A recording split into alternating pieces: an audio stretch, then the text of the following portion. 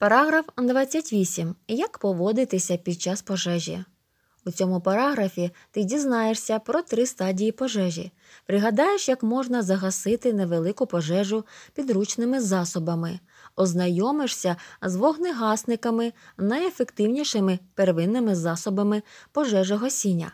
Потренуєшся рятуватись у разі пожежі в лісі чи в степу. Що таке пожежа?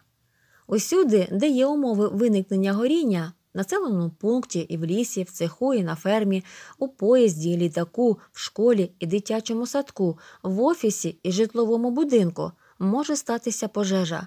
Неконтрольований процес горіння, який загрожує життю людей і тварин, знищує природні ресурси чи матеріальні цінності. Чи знаєш ти, що у розвитку пожежі виділяють три стадії? Початкове триває переважно від 15 до 30 хвилин. Для неї характерна невисока температура полум'я і незначна швидкість поширення вогню. Якщо пожежу встигнуть загасити на цій стадії, вона заподіє найменші збитки. Основна стадія триває переважно наступні 30 хвилин. Температура полум'я може перевищувати 1000 градусів. Пожежа швидко поширюється, загасити її дуже важко. Стадія закінчення. Вогонь згасає у міру догорання матеріалів, рятувати вже нічого.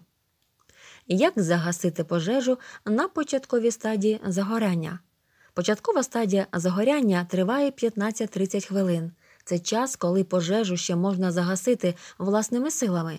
Треба лише знати, як це робити. Твої дії залежать від того, що загорілася звичайна річ, електроприлад чи легкозаймиста рідина. Якщо загорілася звичайна річ, вогонь можна затоптати, залити водою, засипати піском чи накрити пожежним покривалом, замість якого можна використати килим, ковдру пальто, але в жодному разі не те, що виготовлено із синтетичних матеріалів. Найчастіше пожежі гасять водою. Для цього найкраще підходить звичайне або пожежне відро. Його заповнюють на дві третини. Відтак, узявшись однією рукою за дно, а другою за його верхню частину, вихлюпують воду в напрямку вогню. Коли ж загорівся електроприлад, наприклад, телевізор, його не можна одразу гасити водою. Це призведе до ураження електричним струмом. Слід спочатку від'єднати електроприлад від напруги, узявшись за вилку рукою, обмотаною сухою тканиною, або вимкнути електрику на щитку. Іноді це одразу допомагає, і пожежа припиняється. А якщо прилад продовжує горіти, накрити його цупким покривалом. Воду треба лити, стоячи збоку, тому що нагрітий кінескоп може вибухнути. Легкозаймисті рідини, наприклад, бензин, також не можна заливати водою. Вони легші за воду, і якщо на рідину вилити воду, вона спливе на поверхню і продовжуватиме горіти, поширившись по всій поверхні. Вогонь необхідно засипати землею, піском, у крайньому разі навіть пральним порошком. Спочатку засипають краї, а потім середину. Ви пригадали найпростіші, а тому найпоширеніші способи гасіння пожежі а найефективніший із первинних засобів пожежогасіння вогнегасник. Звісно, якщо він справний і ти вмієш ним користуватися. Вогнегасники є трьох типів пінні, порошкові і вуглекислотні. Пінному вогнегаснику майже 100 років.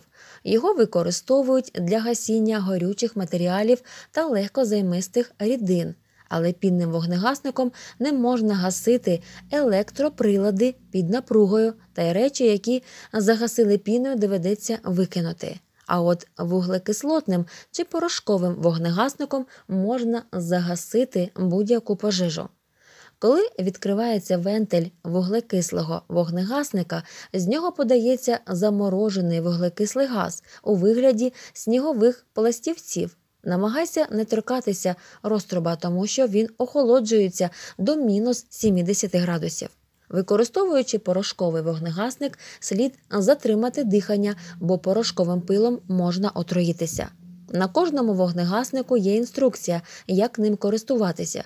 Якщо вдома або в школі є вогнегасник, обов'язково прочитай інструкцію, адже під час пожежі не буде часу її вивчати. Як правильно дихати в зоні пожежі? Ти вже знаєш, що на пожежах люди гинуть не лише від вогню, а й від газів, які виділяються у процесі горіння. Особливо небезпечними є гази, що утворюються під час горіння, пластиків та інших синтетичних матеріалів, а також чадний газ. Іноді достатньо кілька разів вдихнути таке повітря, щоб знепритомніти. Тому найперше, що треба зробити, відчувши запах диму, захистити органи дихання. Якщо пожежа почалася, коли ти був у ліжку, не підводься, адже чадний газ піднімається вгору. Закрий рот і ніс тканиною, рушником чи подолом нічної сорочки і сповзи на підлогу, не піднімаючи голови. Коли є змога, намочи тканину, якої захищаєш органи дихання. Зупинитися, впасти, котитися. Це правило треба запам'ятати на випадок загоряння на людині одягу.